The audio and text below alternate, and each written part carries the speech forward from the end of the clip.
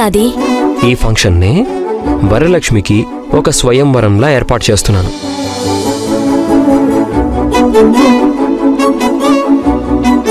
అక్కడ వరలక్ష్మికి ఎవరైనా నచ్చినా లేక ఎవరికైనా వరలక్ష్మి నచ్చినా ఆ తర్వాత పెళ్ళికి బ్యాండ్ మేళం మోగించేద్దాం.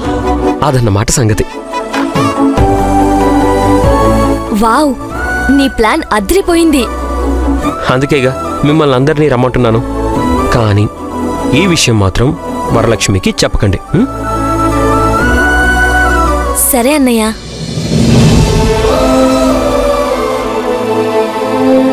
ఏంటమ్మా? మీకు ఓకే కదా? సరే బాబు. వస్తానులే. హ్యాపీ అమ్మా. పదండి.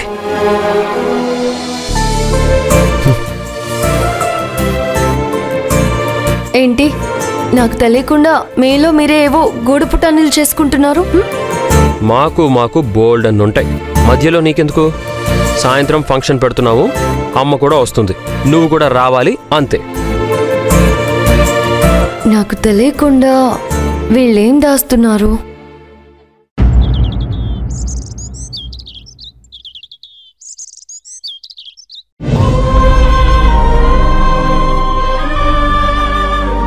నమస్తే అండి. రండి ఇన్స్పెక్టర్ గారు కూర్చోండి.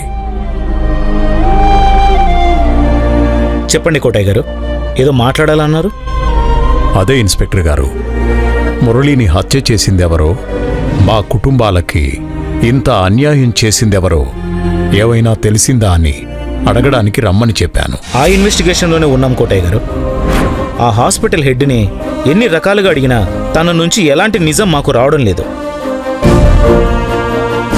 నిజానికి అతనికి కూడా పూర్తిగా ఇన్ఫర్మేషన్ తెలియదు అనుకుంటా ఆ హాస్పిటల్ హెడ్ ద్వారా అయినా ఏదో ఒక ఇన్ఫర్మేషన్ తెలుస్తుందని ఆశపడ్డాను. మనం ఆశపడ్డం తప్ప అతని నుంచి ఎలాంటి సమాధానం రాలేదన్నమాట. దిగులు పడకండి కోటయ్య గారు. మనం మరో దారిలో ఇన్వెస్టిగేషన్ కొనసాగిద్దాం.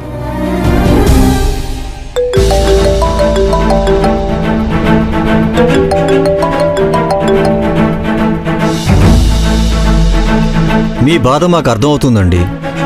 మీరు ఇలా కంప్లైంట్ ఇవ్వగానే మేము దొంగను అలా పట్టుకోలేం కదా? కొంచెం సమయం పడుతుంది. మీరు ఓపిక పట్టాలి. దొంగ దొరకగానే మీకు ఫోన్ చేస్తాను. ఉంటాను?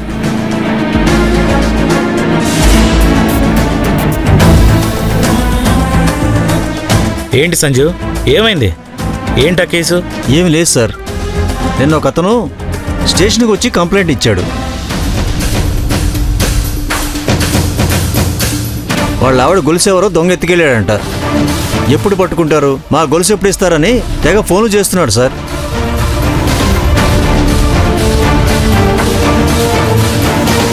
దొంగ ఎవరో తెలియకుండా ఎలా పట్టుకుంటాం సార్? సంజు కొంచెం బుర్ర పెట్టి ఆలోచించు. దొంగ మనకు తెలియదు కానీ వాడు బంగారం గొలుసు దొంగతనం చేశాడని మనకు తెలుసు కదా. అవును సార్ వాడు బంగారు గొలుసు దొంగతనం చేశాడు. వాడు దొంగతనం చేసింది వాడి దగ్గరే పెట్టుకోడు కదా. అది క్యాష్గా మార్చుకోవాలి అంటే మళ్ళీ ఏదైనా ఒక బంగారం షాపుకి వెళ్ళి అమ్మేయాలి. మనం అన్ని బంగారం షాపులకి ఇన్ఫామ్ చేస్తే సరే. బంగారం షాపుల వాళ్ళే మనకు ఆ దొంగ గురించి ఇన్ఫామ్ చేస్తారు. ఐడియా అదిరిపోయింది సార్. నేను బంగారం షాపుల వాళ్ళకి వెంటనే ఇన్ఫార్మ్ చేస్తాను. సరే. సరే సార్. మన ఇన్వెస్టిగేషన్లో ఏమైనా ఆధారాలు దొరికితే మీకు ఇన్ఫామ్ చేస్తాను. ఇన్స్పెక్టర్ గారు ఒక్క నిమిషం. ఏంటి సార్? మీరిందాక ఆ దొంగ విషయంలో చేసిందే ఇప్పుడు మురళి విషయంలో కూడా చేయొచ్చు కదా? మనకి మురళిని చంపిందెవరో తెలీదు. కానీ ఆ చంపిన వాళ్ళు ఎత్తుకెళ్ళిందేంటో మనకి తెలుసు కదా. మురళి అవయవాన్ని వాళ్ళు తీసుకున్నారు. అదే అవయవం ఈ మధ్యకాలంలో ఎవరికి అమర్చారో తెలుసుకుంటే మన సమస్య సాల్వ్ అవుతుంది కదా. గుండె మార్పిడి ఆపరేషన్లు చాలా తక్కువగానే జరుగుతాయి చాలా అరుదుగానే జరుగుతాయి. ఆ ఆపరేషన్లు ఈ మధ్యకాలంలో ఎక్కడెక్కడ జరిగాయో మనం తెలుసుకోగలిగితే దొంగ కూడా దొరికినట్టే కదా. రామకోటే గారు మీరు చెప్పింది నిజమే. ఆ కోణంలో